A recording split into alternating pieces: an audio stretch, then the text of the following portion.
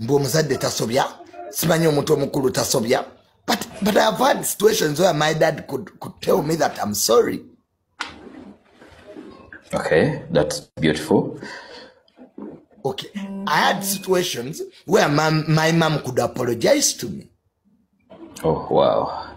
So That's beautiful. I do think that people should realize, I, I do believe that people should realize that uh, conflicts are here to stay. And even if it is your brother, even if it is your mother, even if it is your father, even if it is your workmate, your boss, there will be disagreements, displeasure, dissatisfaction. And me, I'm a psychologist.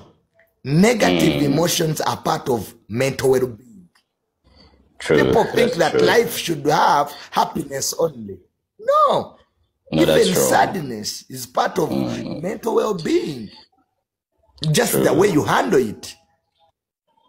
It's like losing somebody and, and you don't cry. You should cry because every, everybody has gone through that process of losing a loved one. True. So, uh, uh, do you have have any moment in life that you break down and feel like there is something that dad or mom ever did to you that you need to really feel their deepest apology to you? Hmm.